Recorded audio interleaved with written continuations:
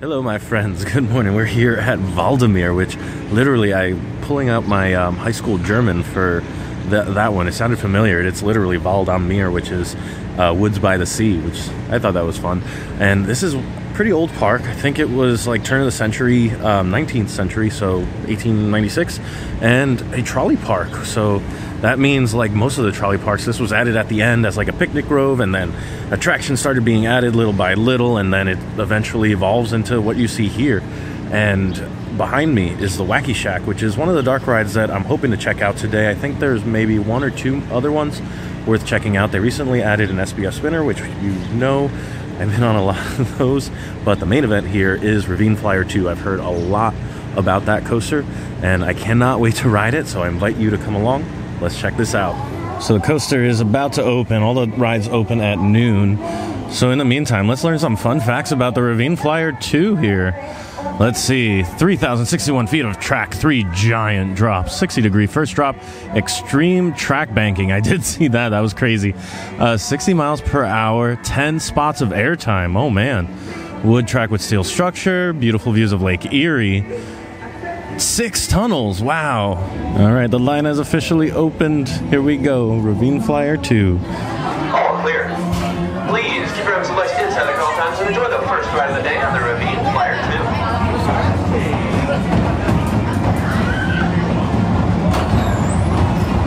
All right, first things first. The view from that lift hill when you're reaching the top is incredible.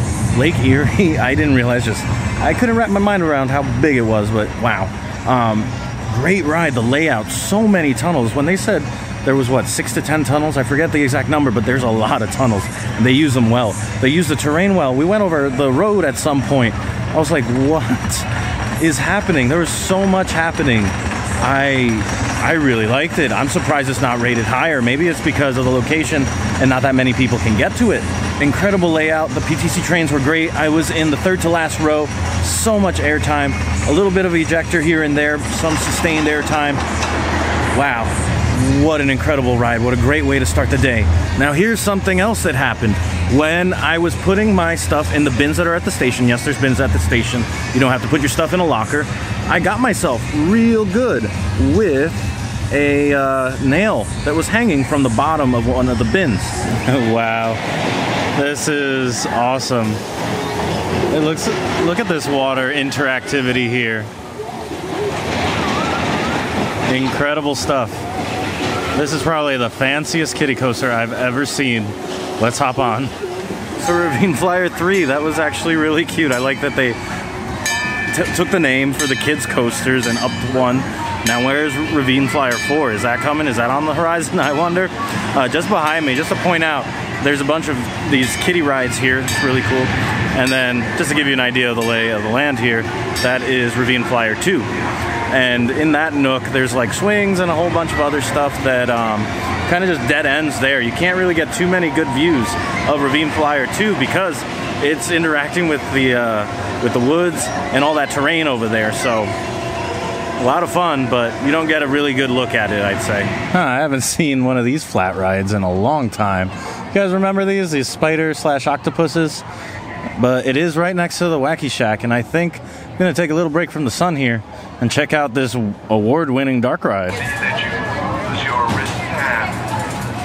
With your arms still attached. I'll be watching to see that you behave yourself.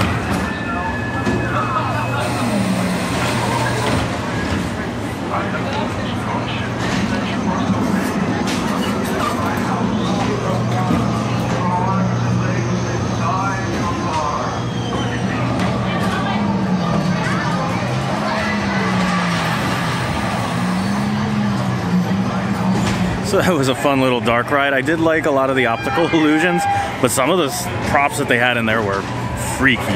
But anyway, Pirates Cove. It's just across the way here, and that's a walkthrough rather than like a traditional ride uh, like that one on rails. So I'm gonna go check that one out, and then we'll resume with the roller coasters. So from what I could tell, this one opened a little more recently, and I think by recently I mean the 50s versus the 20s for the Wacky Shack. Uh, I think each one has gone through different iterations, but I'm curious to see what the walkthrough is like. I've never done something like this. So I'm currently looking for maybe more views of Ravine Flyer 2, but I'm doubtful right now. But Pirates Cove, wow, that was like a full, fully sensory, full sensory. I don't know what phrase it. It was. There was a lot going on, and it was. Uh, I would say a little bit better than the Wacky Shack because you had to walk through and there was more going on. Um, less of those like kind of pop-up scares, if you know what I mean. Rather than like here's a loud sound and something spooky. Um, I reserve that for like Halloween Horror Nights versus that. I was kind of expecting there to be some sort of jump scare in that one, but thankfully there wasn't. But as I explore here, the next on the agenda is the is it called Steel Dragon? Thank goodness I got the name right. But this one might look familiar to those of you who have been following along. This is a Maurer spinning coaster, just like Laff Trakk, just like the one over at Seabreeze. I think that was Whirlwind. We're gonna give it a go. Be right back.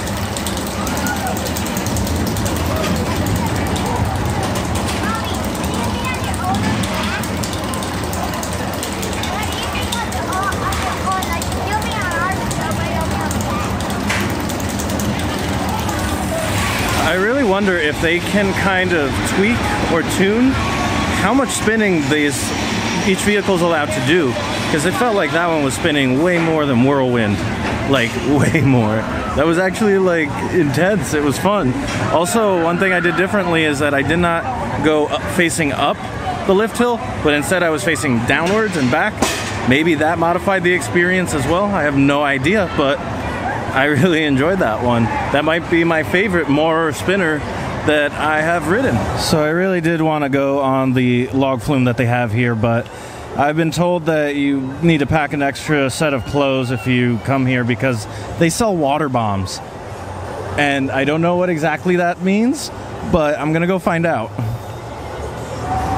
So I was very much mistaken. That is a tiny itty bitty log flume called Lil Thunder. This here is the real one, the big boy. Something I have not mentioned yet is the park entrance. Parking is free. Park entrance is free. Wristband for all the rides, or pay per ride with a Wally card. Which unfortunately I haven't seen the mascot Wally Bear or Wendy Bear anywhere. Unfortunately, I don't think they're meeting and greeting. That would have been something though. So it looks like the water bombs are coin operated. And so you just punish people as soon as they get off the drop. They don't look like they were getting too wet, but there's three stations for these bombs, and I guess that just catapults water on them. I'm not sure. It looks like he's about to try it. Well, he's trying to multiple ones. Let's see.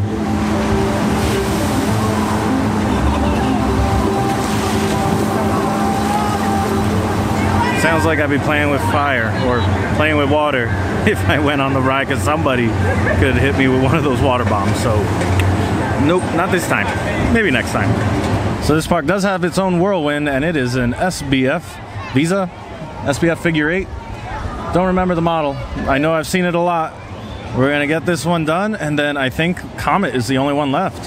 While in the queue, I noticed that they had a ride very similar to 1001 Nacht over at Knoebels. This one they call it Alibaba. I wonder why this same ride has a very similar Arabian Nights type of theme, but nobody tell that lady that fell in love with 1001 Nacht because she might find her way out here. Upon further inspection, it's probably because of the magic carpet type of angle that they're playing here, but surely this comes in different varieties or flavors.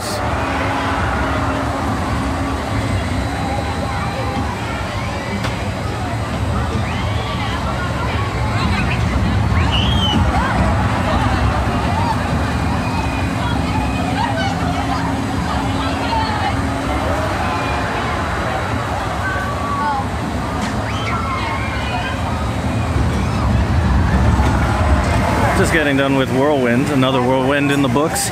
Surprises me that this was a choice they, something that's decided to add to the park this year because the throughput is just miserable. It works at stuff like iPlay America and some of the other smaller parks, but the op- ride operator, who's working alone, mind you, has to unlock each one and straighten out the train basically, depending on how it's spun. That's got to be rough for throughput. I'm surprised to see it here, but One thing I did notice while I was riding it is there's a bit of landscaping right in the middle of the figure eight, which I thought was pretty cool. It's something that I haven't seen before. And that also made me notice that there's a giant water feature in front of that Alibaba ride. Pretty cool, huh? So coming from this direction, I felt like I had to kind of highlight a little bit of the midway that they have here. It is extensive. There's a multitude of games just to the left and the right, and unfortunately, I haven't seen a mascot in sight. Another thing I've noticed is that there's statues like this all over the place. I'm not sure why, but I think it adds a really nice touch. And speaking of the landscaping, look how amazing, just for this simple little ride. They have like a water feature in the middle, it's kind of hidden right there. I'll put another shot in right now, but hmm. That is the nicest one of these types of rides that I've ever seen. Currently drowning my sorrows with some pepperoni balls because unfortunately it seems like Wally and Wendy are not performing this season and they didn't make any appearances last season and womp womp. No mascots to meet today.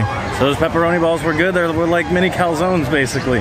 And now we're on our way to our last stop here, Comet, which is like a 50s era wooden coaster looks pretty cool. And then that's going to be all the coasters. Five hot and fresh credits today. The station has a really cool vibe. I don't know why circular stations kind of fell out of fashion.